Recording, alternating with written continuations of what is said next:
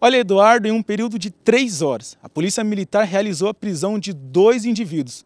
Contra eles, havia mandado de prisão em aberto. Contra um deles, havia um mandado de prisão pelo crime de furto e porte ilegal de arma de fogo. Contra o outro indivíduo, havia um mandado de prisão em aberto pelo crime de tráfico. Mas quem tem mais informações para nos repassar em relação a essas duas situações é a aspirante Leme da Polícia Militar. Aspirante, como que foi essas duas ocorrências? Boa noite.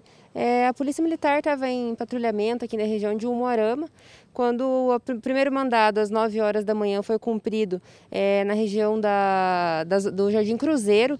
Foi abordado um indivíduo de 20 anos de idade. Quando foi feita a checagem, a documentação dele constatou que tinha um mandado em aberto pelo crime de tráfico de drogas que ele teria realizado.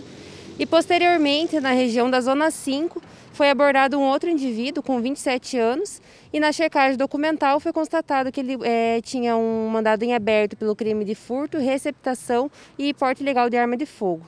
Aspirante, essas duas ocorrências vale destacar é, o trabalho feito pela Polícia Militar em prol da segurança da população. Foram duas abordagens distintas, a qual ocasionou na prisão de dois indivíduos. Isso mesmo, é importante ressaltar a importância do patrulhamento e mais ainda da abordagem policial, porque se a Polícia Militar não faz a abordagem, não tem como constatar aí, muitas vezes esses mandados. Então é, é resultado do trabalho realizado pelas equipes do 25º Batalhão e em poucas horas aí, né, dois indivíduos presos pela, pelos crimes cometidos anteriormente. Aspirante, em muitas das ocorrências também a Polícia Militar conta com o apoio da população, às vezes ligando via 190 quando vê alguma coisa suspeita, né? Vale destacar e fazer essa orientação também para a população.